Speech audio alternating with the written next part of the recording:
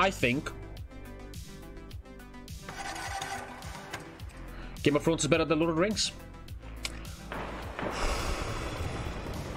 I think the Game of Thrones books have many more layers of drama, many much deeper uh, characters, religion, uh, much better villains because they are not just pure evil, they have uh, different layers to them.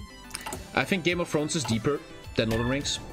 We started this uh, because George R. R. Martin built his world based on Tolkien's world. It's very different. I'm not talking about the TV show, obviously. I'm not talking about the TV show.